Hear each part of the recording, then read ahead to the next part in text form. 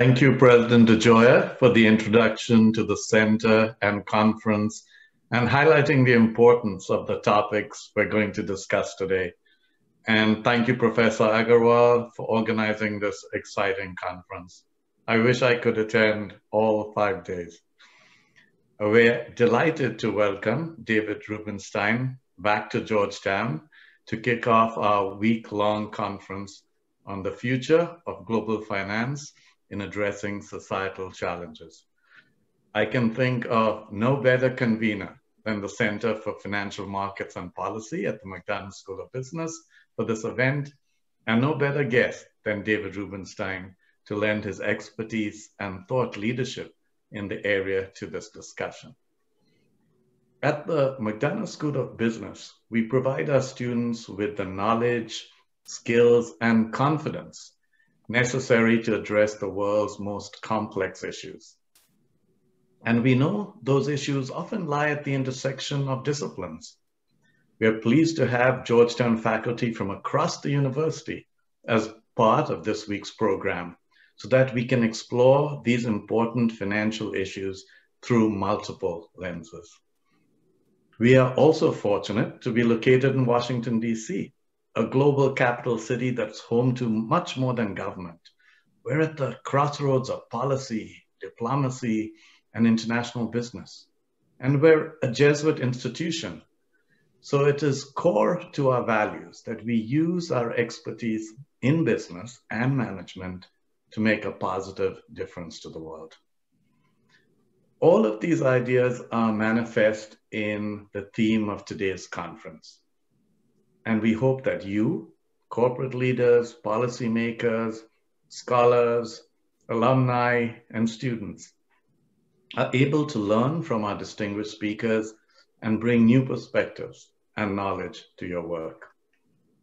Our keynote this afternoon is definitely no stranger to Washington, D.C., or to principal leadership, or to finding innovative solutions to complex problems. David Rubenstein is co-founder and co-executive chairman of the Carlyle Group, one of the world's largest and most successful private investment firms. Since its founding in 1987, Carlyle has grown into a firm managing over $221 billion from 31 offices world. A Baltimore native, David earned an undergraduate degree from Duke University before graduating from the University of Chicago Law School. He practiced law in New York before serving as chief counsel to the United States Senate Judiciary Committee subcommittee on constitutional amendments, and then as deputy assistant to the president for domestic policy during the Carter administration. After his White House service and before co-founding Carlyle, David practiced law in Washington with what is now the Pillsbury, Winthrop, Shaw, and Pittman firm. David has a long history of service to nonprofit organizations. He's been chairman of the board of trustees of the JFK Center for Performing Arts and the Council of Foreign Relations, a fellow of the Harvard Corporation, a regent of the Smithsonian Institution, a trustee of the National Gallery of Art, the University of Chicago, Memorial Sloan Kettering Cancer Center, Johns Hopkins Medicine, the Institute for Advanced Study, the National Constitution Center, the Brookings Institution, and the World Economic Forum. Quite a list. He's been a director of the Lincoln Center for Performing Arts and the American Academy of Arts and Sciences, and president of the Economic Club of Washington. Additionally, David is the original signer of the Giving Pledge and a recipient of the Carnegie Medal of Philanthropy and the MoMA's David Rockefeller Award, among other philanthropic awards. As a leader in the area of patriotic philanthropy, David has also made transformative gifts for the restoration or repair of numerous institutions, including the Washington Mon Monument, Monticello, Mount Vernon, Arlington House, the Iwo Jima Memorial, and so many more. He is the host of the David Rubenstein Show, peer-to-peer conversations on Bloomberg TV and PBS, and Leadership Live with David Rubenstein by Bloomberg Media, and the author of the books, The American Story, Conversations with Master Historians, and How to Lead, Wisdom from the World's Greatest CEOs, Founders, and Game Changers.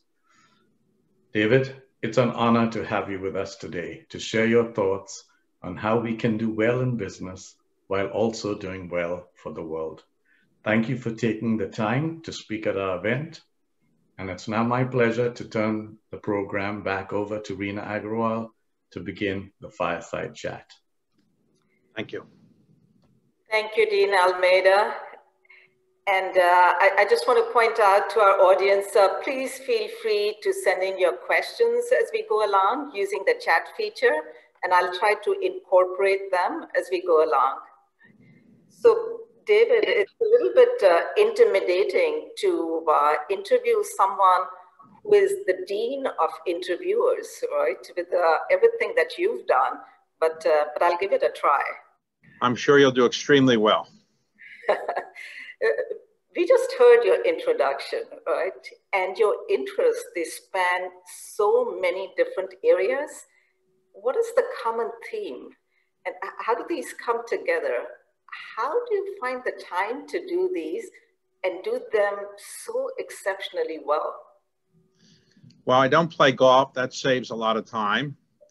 And, um, you know, I don't have that many outside hobbies, so I am not uh, doing painting or things like that. But uh, everything I'm doing is something I love doing. So it's not really work for me, it's a pleasure. I've reached the point in my life where I'm fortunate that I can do what I want to do. And so I'm just doing things that I find intellectually interesting, and hopefully uh, I, they give back to the country for my good fortune to have done what I've been able to do in the country. So um, I, you know, manage my time just like everybody else does, and I, you know, I don't find it that difficult. I just really love what I'm doing. Uh, so David, uh, Dean Almeida mentioned uh, your most recent book, How to Lead, right? Uh, so you've been an author in addition to everything else that you're doing how, how did you decide to write this book? What is the message that you want uh, readers to get out of this book? Well, the more point I wanted to get uh, was this, and the background is that for the last five or six years, I've been interviewing people at uh, on Bloomberg and PBS, and I took the best 30 some of those and distilled them and tried to discern what the leadership lessons were, and then said, here's what these people have to say about being a leader. Why is that important? Well, we have seven and a half billion people on the face of the earth. Everybody can't be a leader, but we can't have all followers either. So we want to have society that moves forward. And I think society moves forward with good leaders. So I was hoping to get younger people to read the book and say, yes, I can do that, or this inspires me to do something better than what I'm doing. And then maybe some of these people will wind up being the Jeff Bezoses and the Bill Gates and the Yo-Yo Ma's and the David Petraeuses in the future. So that's what I hope to be able to do uh, you know, the point about young people is really important. Uh, we, we are going to be distributing the, the book to some of our students at Georgetown because it's just so important for them to learn and think about, yeah, they, they can do whatever they want to do in the future and be some of these leaders. Terrific. Well, I think that life is uh, complicated, as everybody listening knows, and you can walk through life and not really try to accomplish that much. But I think life is more enjoyable if you have a purpose, you're trying to accomplish something. And the most important thing you're trying to accomplish is help other people with their own lives. And so that's what all these people have in common. They were really trying to help other people, not become famous themselves or do things that they thought would make society better. And I think they did. And so that's what I hope younger people who are watching today are will think about it. What can I do to make a, the world a better place? What can I do to make a difference? There's no one formula for doing it but there are many characteristics that leaders have in common, and hopefully the people who read it will, will, will see some of those characteristics. Yeah, and you've said uh, um, that you really enjoy doing what you're doing. That's why you're doing it, and it's not work for you.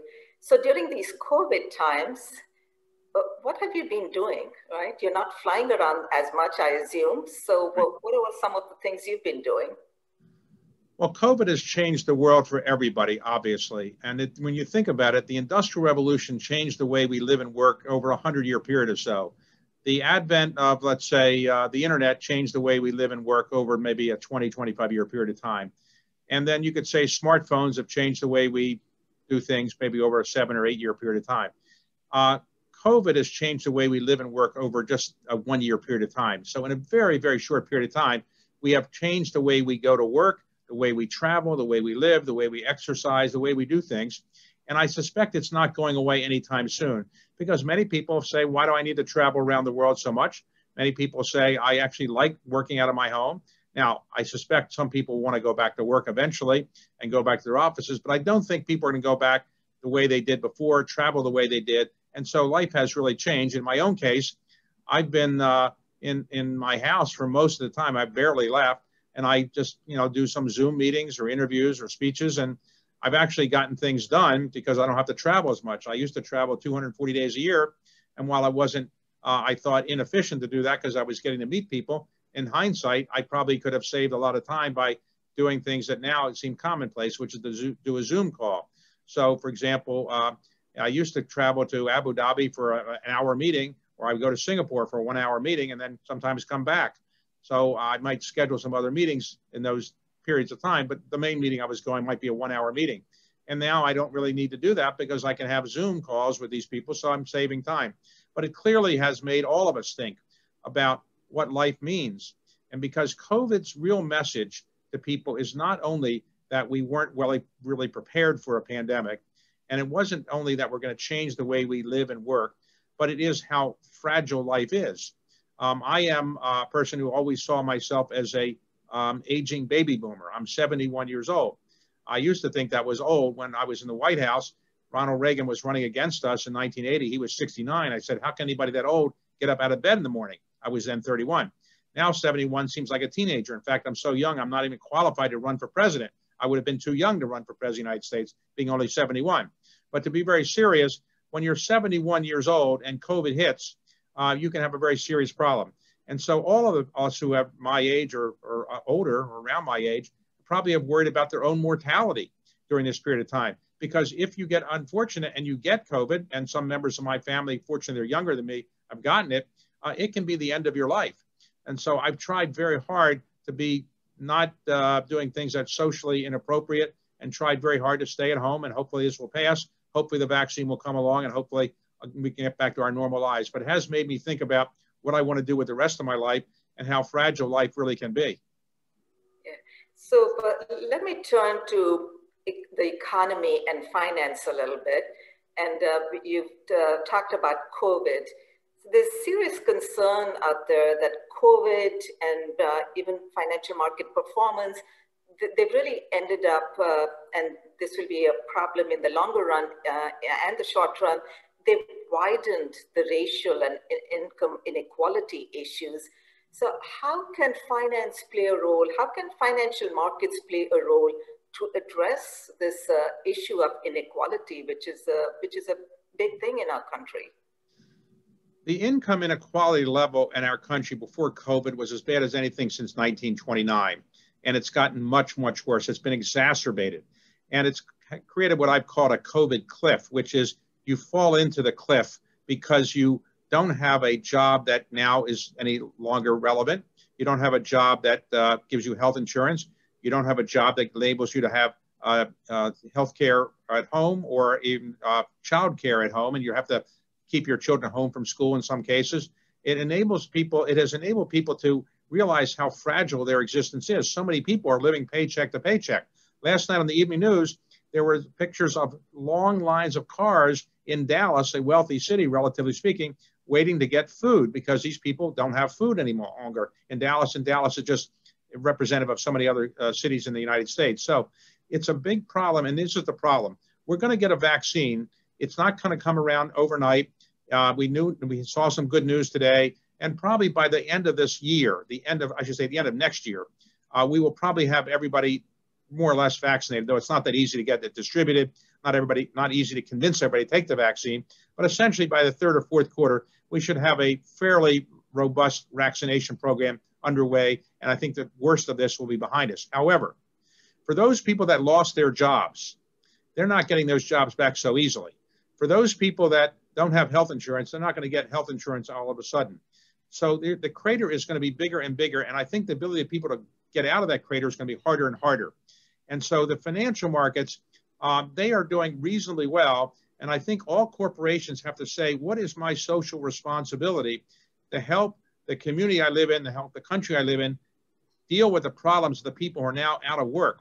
The unemployment rate is said to be 8%, but that's very, very misleading because we only count people who are looking for jobs in the last month. So people who've given up looking for jobs, if they were counted, I suspect the unemployment rate is closer to 15% or so.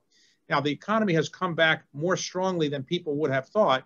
Yes, but that's because we put $3 trillion in of additional assistance from the Congress and four to $6 trillion from the Fed. And if we don't keep that up, at some point, it's going to get really worse than it is now. And again, the, the virus is still very, very strong, and I don't think it's going away in the next two or three or four months. So we have to not let these people fall behind, so much so that we have a tale of two cities in our country. We have the very wealthy people, and we have the people that can get by and okay, but then we have the people that have fallen into a crater and they're never going to escape, and they're going to be a permanent underclass. Unfortunately, in our society, we don't do something about that. So we have a question here. Do you have thoughts on uh, the marginal health benefits and sort of lockdowns versus the economic costs of lockdowns? Well, of course, this has been debated, and I, I do think that it's you have the fatigue factor from lockdowns too. Uh, right? If we were if we had gone into a lockdown right when this came about, I suspect we'd be in better shape today. Why is it that in Japan, South Korea, Taiwan, and even China, and also Singapore, the uh, positivity rates are so much lower and the mortality rates are so much lower. I think it's not because we're testing too much. I think it's because they had a better program, in part because they had some lockdowns. Now, lockdowns don't work perfectly. We've seen in Europe that the virus is coming back fairly strongly, and there were some lockdowns there. So it's not as if lockdown will solve all the problems. But today, because we people are tired of where we're what we're doing, I don't think you can do lockdowns as readily or with as much cooperation as you would have been able to do it a year ago. So I suspect in some narrow uh, communities in some areas we might be able to do lockdowns, but I don't think that's going to be the solution. We've got to do the same things that were done in, in the great uh, influenza flu. In the Spanish flu, the great influenza in 1918, there were three things that people were told to do. Wash their hands regularly, socially distance, and wear a mask. Those things will make the greatest difference. Lockdowns can be helpful, but too many people, I think, were not going to comply with lockdowns, and there are ways to get around them. So I, I just think it's not going to be the sole solution. But I think it, it does have some marginal impact in improving some areas. But I don't think that's going to be the solution for this country right now. Again, related to COVID, there's another question. Are there going to be some irreversible paradigm shifts in the post-COVID world that uh, concern that should concern business, society, and uh, how, how would we address them? Well, sure. Um, you know, I interviewed for one of my shows Mark Cuban not long ago, the uh, the owner of the Dallas basketball team and a well-known entrepreneur, and he said that he thought the greatest entrepreneurial act, um, opportunity that he's seen in his lifetime is really COVID. Now, COVID has tragedies, of course. 240,000 Americans have died. Many have been injured, uh, but not died, and and obviously millions of people around the world have died. However, he thought as an entrepreneur, just looking at as an entrepreneur, new businesses are going to be uh, uh, started. Uh, there's new opportunities. There's ways to do things that people hadn't thought of before. And so I do think that there's going to be very good um, investment opportunities, but I do think that some industries are going to be left behind. Uh, the travel industry, the hotel industry, the cruise ship industry, the restaurant industry. These industries may come back, the movie theater industry, they may come back, but I think they might be a shell of themselves for quite some time. Now, as a general rule of thumb, and you would know in the business school world, I guess they would call this the reversion to the mean. There's often a reversion to the mean. And so, probably in five years or 10 years, people will come back to doing more social um, socializing in person. They will travel more. They'll kind of revert to the mean of what they've done in previous years. But I think it's going to take a while. And I think some people are just not going to go back to the mean. Some people are going to be happy not to have to travel as much not to have to go to events that they don't really want to go to when they can do them over Zoom. So I do think there's going to be a big change in the way we conduct our lives. And uh, so you've talked about the role of business in uh, society, right? And the, there's been this discussion and debate going on about stakeholder capitalism. And there are two sides to this debate uh, where, you know, one side definitely believes we've got to go beyond shareholder uh, uh, capitalism to stakeholder capitalism. And then there's another side that thinks uh, stakeholderism is going to increase the insulation of corporate leaders from shareholders, from accountability, from economic performance. Uh, what is your take on this? For, for those who may not be familiar with this debate, essentially, uh, people like Milton Friedman and his predecessors, like Frederick Hayek and others, they had the view that capitalism was a very good economic construct, the best anybody has come up with, and that in the capitalist system, companies' greatest obligation is to work on the behalf of their uh, owners, their shareholders. And so Milton Friedman from the 1970s on basically propounded the, the th- thought that companies should make the highest profits they can legally and then let the owners decide to do what they can with those profits. Uh, about 50 years ago, uh, another man named Klaus Schwab, who started the World Economic Forum, came up with the idea, and he wasn't the only one, that said stakeholder capitalism is important too, which is to say CEOs should worry not only about their shareholders, but their employees, their customers, the society, the neighborhoods, the countries in which they live in. And they should worry about certain social purposes as well. That debate is now going forward. And I think that a, a, a, the better side of the debate is that companies should worry about more than just their shareholders. The shareholders should know in advance that company CEOs aren't going to worry only about economic uh, returns. They're going to worry about other things. And the reason why I think that's the better debate is because I think as the world is moving forward, it's very likely that if you worry about ESG related factors, your company is going to get more customers, have more employees, more desirable employees, and be better run. And so the world's moving in that direction. And I think, therefore, if you were only worried about returns on, on uh, your investment and nothing else, I think you're going to be left behind. That's my own view. And what do you see? This is a question that has come up in the chat. What do you see the sort of the role of the government uh, and the role of the private sector? Who, who plays what right. role? If you think about it, American capitalism is a unique uh, kind of uh, creature. Uh, think about it this way. The analogy I would use is, is that when the Big Bang occurred, uh, ultimately, we created the universe, the multiverse, but the Earth came out of it, a very unusual confluence of events that created our solar system and the Earth. And it's not sure they can be replicable, and we're not, we, are not sure there's anything else like Earth in, in, their, in our, in our uh, universe. Maybe there is, but we don't know. Uh, American capitalism is something unique as well. An enormous number of unusual events came together, came together to create this, um, this capitalism that's really not replicable anywhere else. There's different forms of capitalism. There's European capitalism, there's Asian capitalism, there's Chinese capitalism, but we have a unique form of capitalism. And I think it's, it's a capitalism that works well, though it has the problems of leaving some people behind from time to time. But I do think the American form of capitalism um, works reasonably well, but it has to be improved and it cannot afford to only worry about the winners. It has to make sure that the losers aren't left behind. The great thing about American capitalism, it does create a lot of wealth. It incents entrepreneurs to create great companies. But in the in the end, some people will be left behind, and so you have to create a social network that's or a social safety network that enables the people who are left behind to be able to get educated and to catch up to some extent. I do think that uh, other forms of capitalism have their virtues as well. European capitalism probably has a greater social net than we do in the United States, but obviously they don't have the entrepreneurs and the economic dynamism that we have in the United States. So it's a trade-off. I would not trade what we have though for for other kinds of forms of capitalism. So the, one of the issues that you brought up, and we'll be talking a lot about uh, this week, is ESG, right? Uh, so how, how is uh, how do you expect what kind of changes uh, do you expect with ESG in the future uh, in your industry in private equity specifically, but more broadly uh, in terms of businesses, right. institutional investors? how, how are they addressing ESG, and what will change in the future? Well, it used to be, let me just take my own industry as an example. It used to be in private equity, you invested dollars and, and you tried to get the highest rate of return you could legally get. You didn't worry about uh, diversity. You didn't worry about inclusion. You didn't worry about environmental factors. You didn't worry about good governance and other kinds of things. You had no interest other than the highest rate of return. And the result was some very high rates of return, but also some failures in terms of things that didn't work out as, as far as society is concerned. Today, I think there's a general view that ESG factors should be taken into account. But the main thing that's changed over the last, I'd say, five years or so, and probably will change even more over the next five years, is that a concern about ESG is not seen any longer as a willingness to take a lower rate of return.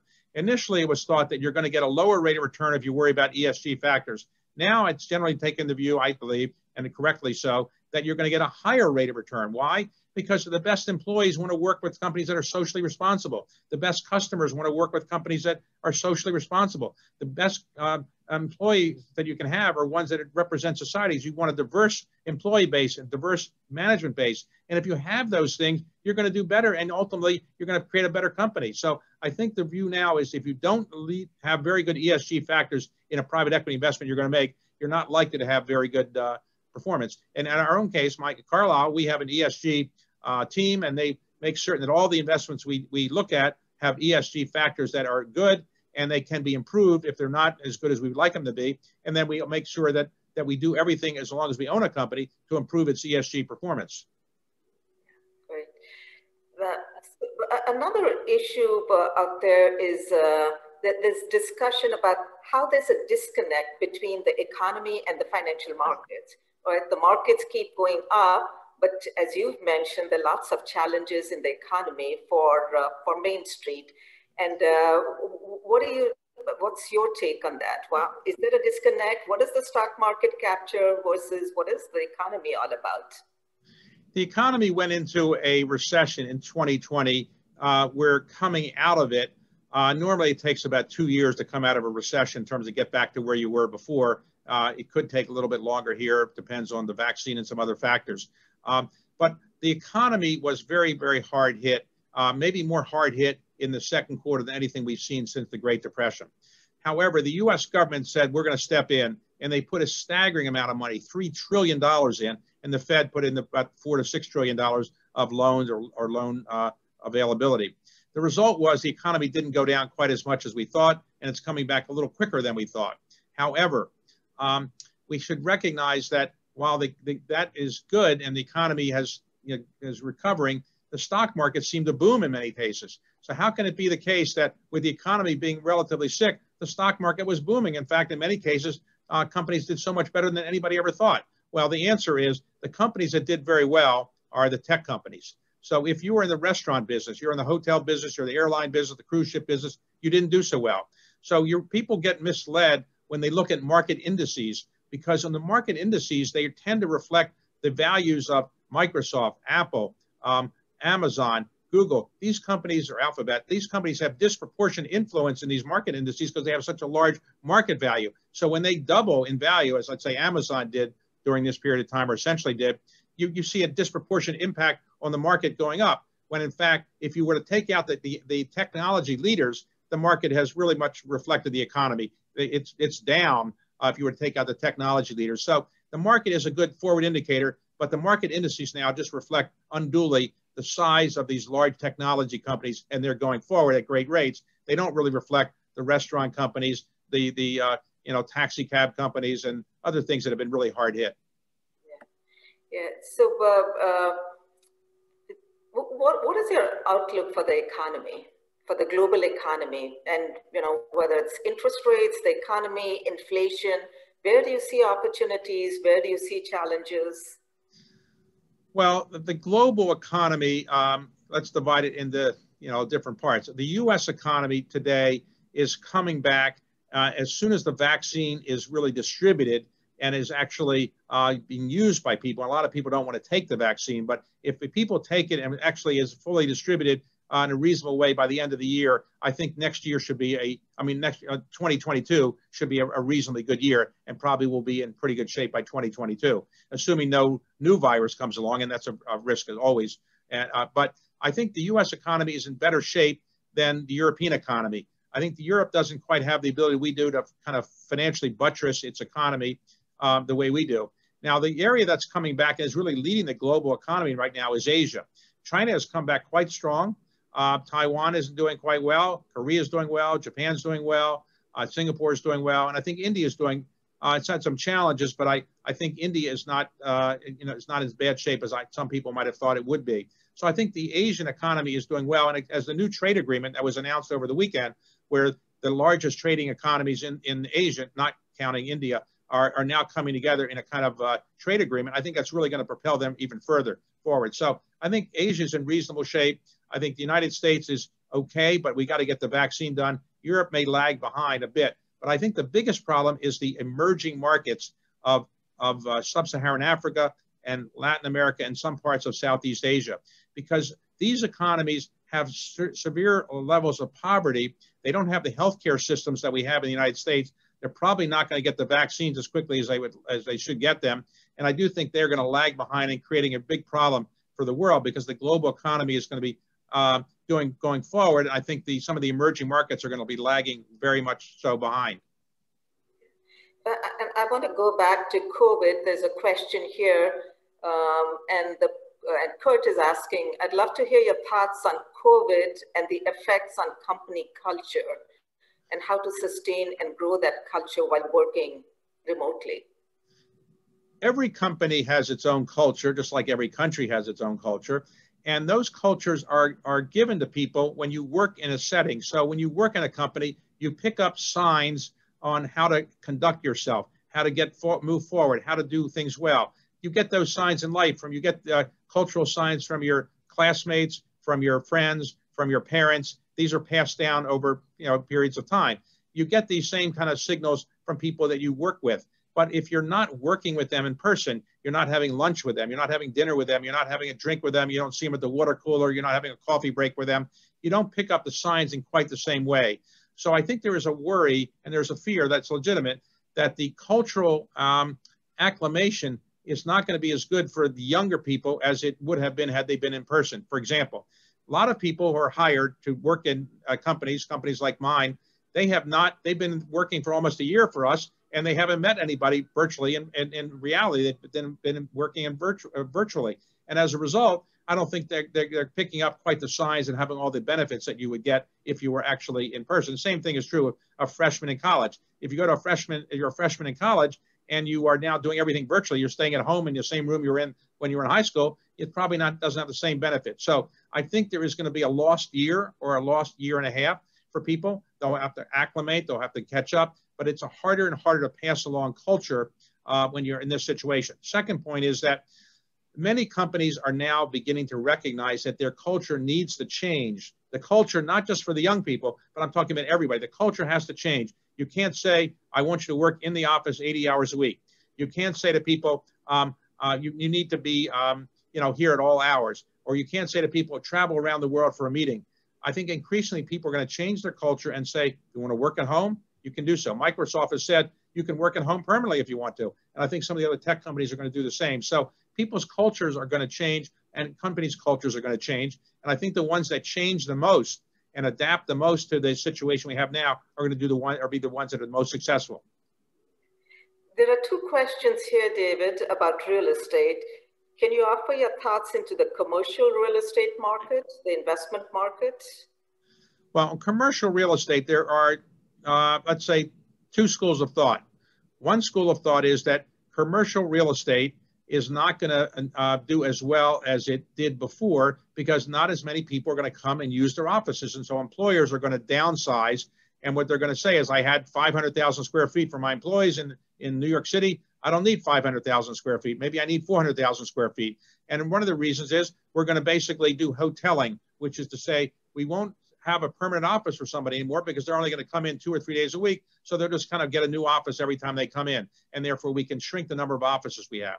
Another school of thought is that people will eventually go back to, as I say, revert to the mean. They want to go, go to the office five days a week, but they want more space. The cubicles that we're all familiar with, that people have been seen uh, proliferate over the last 10 and 15 years, we'll have to have bigger cubicles and more space for people so they feel socially distanced in an appropriate way. Um, you know, I, I, suspect, though, in the end, I, I, it depends on the cities, but some cities, I suspect, will see people not come back to the office as much and have fewer space. And some cities, I suspect, some city people will come back uh, and want a bit more office space. It just depends. I think law firms, for example, in Washington, D.C., which we're all familiar with, law firms downsized a, a, quite a while ago, which is to say, law firms used to uh, have a, a, an assistant or secretary for every every uh, lawyer practically. Uh, now they're not doing that. They don't have law libraries so, much anymore. So they've been downsizing. A new phenomenon I'm, I'm told that law firms are saying all people have the same size office. partners, associates, everybody. If you have an office, same size. So that's another downsize. So I do think that people will like to go back to work in an office, but I suspect that office uh, use will go down a bit. On the other hand, our population is growing, and as the population grows, we'll probably, you know, eventually have more space being used in commercial office buildings in five or 10 years than today, but it probably be with, um, you know, in a different way, different setting, different configuration. The other real estate related question is, uh, what role do you see ESG playing in the real estate industry? Well, today, uh, people want to be in buildings that are seen as environmentally friendly. So if you're a developer and you say, look, I can build a building more cheaply and I can give you cheaper rents, it may not be environmentally as safe or might not be certified as environmentally uh, as good as somebody else's building, but you'll have cheaper rents. I don't think that's going to work as much as it did years ago. Uh, employees want to work in places that are seen as environmentally safe. They want to work at, at places that are they're, they're, they're not going to be worrying about their health. And in the end, everything is down to your health. You only have one life. And so people are not going to take risks. So I do think that the commercial real estate business is going to have to recognize that having buildings that are environmentally safe and that comply with various ESG codes is the way to go if you're going to kind of get the rents that you feel you need to get to make it a profitable business for you. There are a couple of questions here related to fintech and even uh, cryptocurrencies. Well, where where do you come out on uh, uh, different aspects of fintech? That's a that's a that covers a lot of ground. There are many different uh, parts of fintech, but the, one of the questions is specifically about cryptocurrencies. Well, um, when fintech first came along, I didn't quite recognize uh, how it was going to change the world, and but it is. And now I am making investments. Uh, my firm Carlyle is, and personally, I'm making some investments as well uh, through a, family office. I, I, do think that fintech is changing the world. Just think about this. When PayPal came along, I didn't really recognize right away how important it was. Uh, I sat next to at a dinner one time, uh, the man who invented the Square, who also invented uh, Twitter, Jim Dorsey, and he was showing me his little uh, device that was going to be that's called Square, and I, I asked him about the valuation. He told me it was, I don't know, a couple hundred million dollars. I thought it was too high. Now, of course, it's worth a staggering amount of money. So I didn't recognize how fintech was going to change the world and how it's going to keep changing the world. So I was probably late to that game. Uh, they're now, Carlyle is, is, actively invested in it. In terms of uh, Bitcoin and related uh, cryptocurrencies, I would say that, um, you know, I didn't understand Bitcoin in the beginning. I don't own any Bitcoin. I'm not sure I really understand it but I have seen a lot of opportunities recently that have come to me in things relating to um, um, uh, cryptocurrencies and things relating to the way we're going to digitize money, money and things relating to um, uh, uh, things that use technologies that Bitcoin took advantage of. So I do think that it's, it's going to be a growth area because eventually, um, maybe not in my lifetime, but we'll probably have all money will probably be digital and it'll probably be one universal currency at some point just to make life easier. And with fintech related technologies, I think that's going to be possible. Uh, are there other areas that where Carlyle is seeing uh, opportunities uh, from a private equity point of view, buying firms during this uh, uh, pandemic or making investments? Is there a shift in anything that Carlyle is doing? Well, I don't want to say anything other than what's been publicly announced. Um, but we have announced a number of things already in the healthcare area. We've made a lot of investments in that area. Uh, and so I suspect healthcare will continue to be an important area. Telemedicine and things like that uh, has been an area of, of some growth. Uh, we do think that, um, um, you know, the, that uh, the areas relating to fintech will also be attractive, but I wouldn't want to eliminate uh, manufacturing either because there's going to be a renaissance in manufacturing made more efficient and so forth. Uh, but I do think that um, that's a good area as well. I also uh, believe that um, outside the United States, China will continue to be a very attractive place to invest with a large population, very entrepreneurial society. I do think India is an extremely attractive place to invest as well. Uh, more challenges perhaps in investing and finding good deals there than maybe in China in some areas, but the other ways we found some very good investments there. I'm very happy uh, there. So I, I, do think that uh, Americans should look at uh, investing outside the United States because I think the growth opportunities are going to be pretty attractive there as well. As a general rule of thumb, I would say that COVID has changed the way the buyout people do deals to some extent. Uh, we are not uh, paying lower prices, uh, but we are doing things differently. It used to be the case you had to do everything in person, your due diligence. Now, while we will not invest in a company without meeting the management teams, the amount of, of, the in-person kind of things you can do is just less. And I think that the, uh, the need to travel is less, and therefore you can do your due diligence shorter periods of time.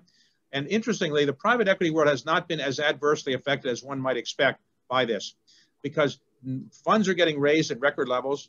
Uh, deals are getting done at, if not record levels, close to them. Exits are occurring. And, and investors really still think that private equity is going to get a good rate of return for its investors. So private equity world has done reasonably well. Obviously, if you invest in hotel companies, you invest in cruise ship lines, you've got some challenges. But on the whole, I think the private equity world's done pretty well. Great. Uh, so a broad question here is, uh, any thoughts on how to live a fulfilling, wholesome, and helpful life besides pursuing what one loves and working to help others? Well, my view is that uh, you're only on Earth for a relatively short period of time. If you're fortunate, you probably have a life expectancy today, maybe of 80, 85, 90, something like that. And with enough medicines, maybe you can make it a little bit longer. Um, but uh, in that short period of time, you should you should you know do what Thomas Jefferson said: pursue happiness, though not in a way that offends other people, but find something that makes you happy. Because life is something that you know is designed to make people happy, and happiness comes about when you help other people. So find something that you can do that is intellectually interesting, that you feel you're proud to do, that your parents are proud for you to do it, you're proud of it, your children are proud of it, your partners are proud of you doing it, and it's something that you want to do because you think you're making a contribution to society. And if you make a fair amount of money out of doing that, try to give that money back to society so you can contribute to humanity. You know, we, we that's what, you know, uh, progress is all about, making the world a better place. And so I think you should experiment, find what makes you interesting, in, in, what is interesting to you and is enjoyable to you. Nobody's ever won a Nobel Prize hating what they do. You have to love it. And if it means working a little bit longer hours, do it. Make sure you have some balance in your life but also try to give back to society. Many people who are very rich and have nothing else in their life but the amount of their uh, bank account, they're not happy people. They're tortured souls. The people that have other things in their life, they tend to be much happier. And I would like to remind people, happier people live longer than grumpy people. So find something that makes you happy and, and makes you feel that you're doing something useful and you'll probably live a longer life and a happier life and a more meaningful life so David, uh, I hope you don't mind, but I want to invite a special guest before I ask my last set of questions. Uh, let's see if Anna can do the magic and get our special guest to be here. Here she is. Let's get Ali's uh, video up.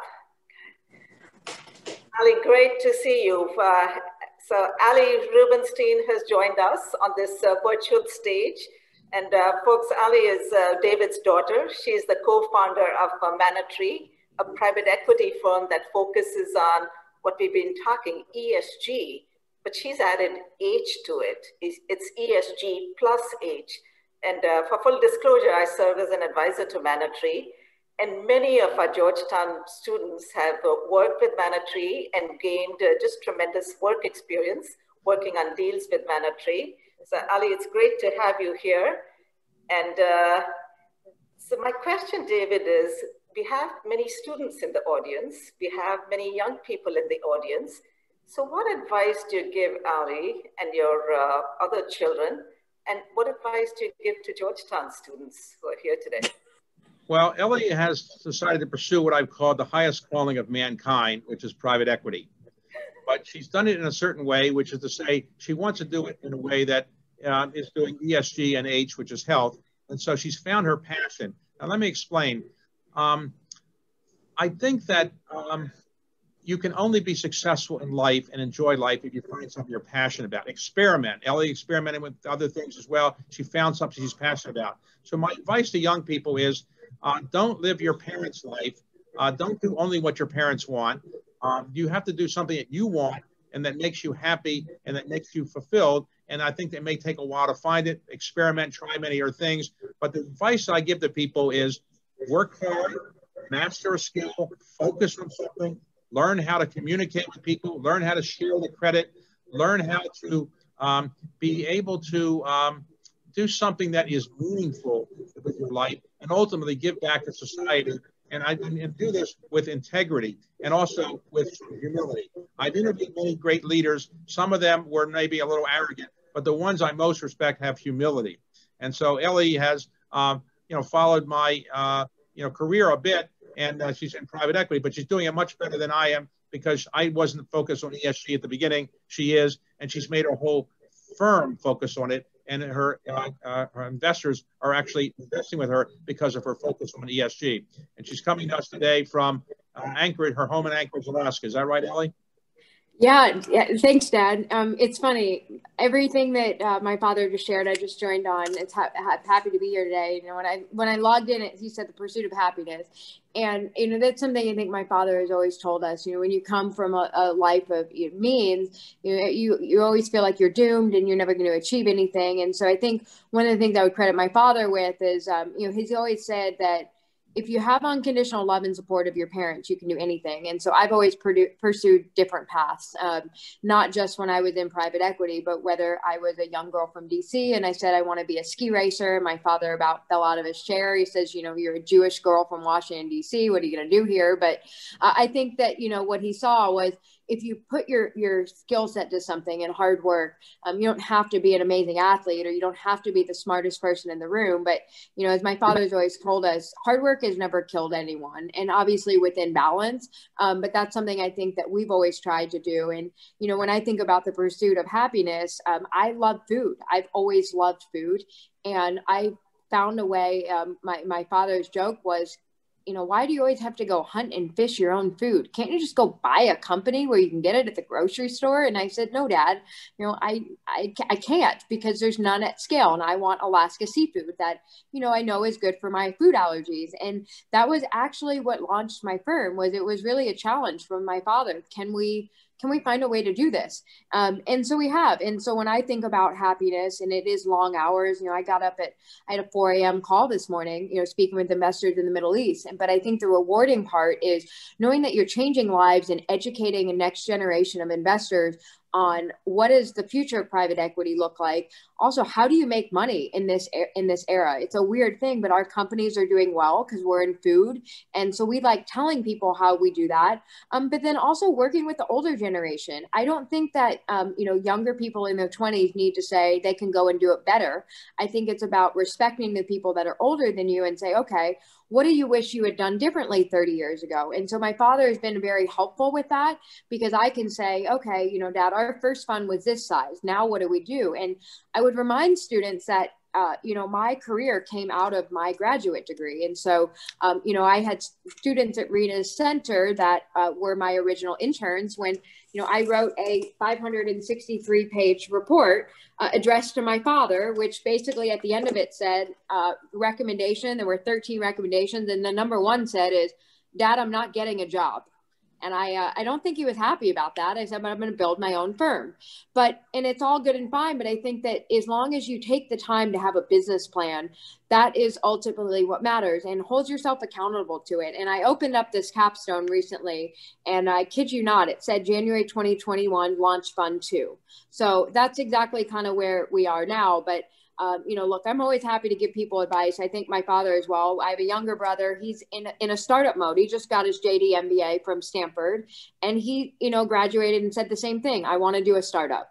So I think, Dad, you know, maybe some advice on how to do a good startup would be helpful because, you know, you've had me do it now. You have, you know, my brother doing it now. And it is a different career path than just saying, I'm going to graduate and go to Goldman Sachs people tend to want to do things with values and meaning and, and dad that's a little bit different. So maybe talk about that. Yes the, the startup culture is an interesting one. I would say when i graduated from college in 1970 uh, which is the students do you know hundreds of years ago um, people didn't look at startups. They looked at trying to get a job in an established company. Today people recognize that there's a lot of pleasure in building something yourself and being your own boss to some extent and also in creating something that didn't exist before. So being the 10,000 person at Goldman Sachs might be rewarding in some ways. Your parents will be proud of you, I suspect, but it's not the same as building something on your own. So the people that we idolize a bit today in the business world are not the people that were the 10,000th person at Goldman Sachs. or even the CEO of Goldman Sachs, as good as he is. It's the people who started their own companies, the Mark Zuckerbergs, the Bill Gates, the Steve Jobs of the world, people like that, uh, Elon Musk. These are people that took a risk, started something, and while everybody can't be an entrepreneur and start something, it's not a bad way to kind of do something before you have too many pressures to do other things. And so both uh, David and Ali, the students are students who are uh, still in school, who are at uh, Georgetown, at the McDonough School of Business. What should they be doing while they're in school? What kind of skill set should they be developing? And how do they, how should they be thinking about the future in terms of their skill set? Well, my own view, for what it's worth, and I'd be curious to hear what Ellie has to say, because uh, a different generation, is that what you study is not as relevant as the skills that you actually get. So the skill of managing time, learn how to manage your time. The skill of being able to get along with people with different backgrounds, different egos. The skill of learning how to read and read and, and understand what reading is all about and how you can keep learning. Remember, when we go to a commencement, we call it a commencement because it's really the beginning of something, not the ending. But like 30% of the people who graduate from college never read another book in their life in this country. So you've got to keep learning, exercise your brain, reading and reading, practicing reading, but also practice how to talk. Practice, get take speak, speaking opportunities and learn how to speak orally. Learn how to write in a very influential way that can influence people and recognize that people are watching you all the time. So you're a role model. When you're a role model, people will follow you if you do good things. That's how you can really influence people but also try something that you're interested in, experiment. You don't have to go out of college and be Mark Zuckerberg. You start a company, that's the only thing you ever do. Try many different things. I tried many different things. Ellie tried many different things. Try different things, experiment, but have some self confidence and find something you really enjoy. If you enjoy it, you can probably de- develop all the skills you need, but you have to find something that you really want to do and you think you're making a difference in the world for the better you know, Dad, I don't think I could said it better myself. I would say, you know, when I was in grad school, I did a double master's and it was online. And what I really learned from it, while it was specific to food, was time management because um, when you're working full time and then you have to do night hours, I would say in the investment industry, that is pretty much what our hours are. They're, the weekends and weekdays blend together just because of cultures and the way weekends work around the world. Um, and so I think time management and w- virtual, uh, being virtual is, you know, arguably you guys are getting what the what the business industry is right now. And so so much of what I learned on time management, I actually learned when I was an online grad student uh, doing virtual learning just like this. But the second thing that I would say is build your network because um, there's never been a better time to use platforms like LinkedIn and reach out to people. When I look at, we're getting ready to launch our second fund. And, uh, you know, I will tell you in full disclosure, our first fund, we did not use a placement agent. Um, instead, I traveled around the world for 323 days and met people. And, we have investors in 18 countries and 19 states. And it's an incredible phenomenon right now. I can sit in my desk, you know, I'm in my, my little log cabin in Anchorage, Alaska, and I can go around the world on Zoom, never get on an airplane. It costs our firm nothing other than time and we can meet people. And so people are reaching in now from LinkedIn, from your website, and you can build your own network. So I, I think that the fundraising world has been forever shaped in that, you know, think about it, introductions are arguably free right now. Um, so it's a really great time to meet people and you never know, you know, w- where your next job is going to come from. I'm going to reference my brother again. I mean, he's building a startup from, from the ground up and um, you know i think i think that there's never been a better time to be an entrepreneur. Uh, that that really excites me. And i whether you're you know in my situation raising a 500 million dollar fund or you're a startup and you're raising you know 500 thousand um, dollars there's capital out there for good ideas. And i think there's a really great um, time where people want to support young entrepreneurs that are doing uh, mission online thing. Uh, that that's just one of the better things that's come out of this is that there's anything that can you know help and promote uh, people get jobs, people are very supportive. Great, Ali. It's uh, it's wonderful for uh, our students and the young people in the audience uh, to hear, but not only from David, but also from you. Uh, you know, they can really uh, connect and associate with you. So the, that is terrific. Uh, David, any but last thoughts about anything?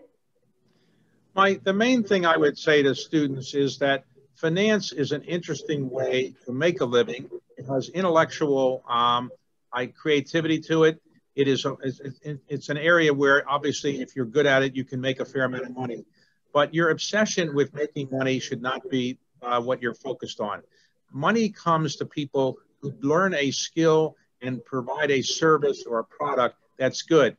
When you provide a good skill or service and you master the arts of talking and reading and writing and, and getting along with people, the money will flow. So don't try to just go into business because you want to make money. That should be a byproduct. You should go into business because you want to do something useful by having a good product or service, and ultimately, um, money will come if, if, if, that's the business you're in. But again, um, I, I, think everybody uh, should try to find something that they're passionate about. It may take a while, but you find it. My daughter's found something that she's passionate about, which is healthy related food, and she's obviously very successful in it right now.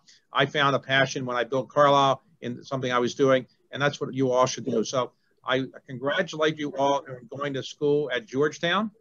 Uh, it's a great school, a great president, great uh, business school. And I want to thank uh, you, Reena, for uh, everything you've done, Ellie, and for me, and helping us uh, in various projects. And, uh, you know, I'm, I'm look forward to doing this again sometimes. Rita, I'd love to add to that really fast. Um, you know, I think one thing that my father mentioned, I think gets overlooked. And if you look at my dad's, even his correct uh, tra- career trajectory, he's CEO. But I think, you know, what gets missed on this is that – my dad's skill sets are not, you know, finance and honestly, nor are mine. And I think that what people should be looking at is how do you build partnerships? Because, you know, when you look at the Mark Zuckerbergs of the world, nobody gets to be multi billion dollar enterprises by themselves. Um, they really work well with others. And so think about what you can do and how you make yourself indefensible in an organization oddly in in our team of 10 i'm really the only one who studied food. Um, and i'm not really the one that actually day to days grows the companies goes on the boards or does the finance or modeling for the investments. I am in charge of fundraising and investors and vision and strategy. And that's a similar role that my father played at carlyle he really um, you know built the global strategy of how do you reinvent buyout and leverage buyouts and having multiple funds at once and doing the fundraising.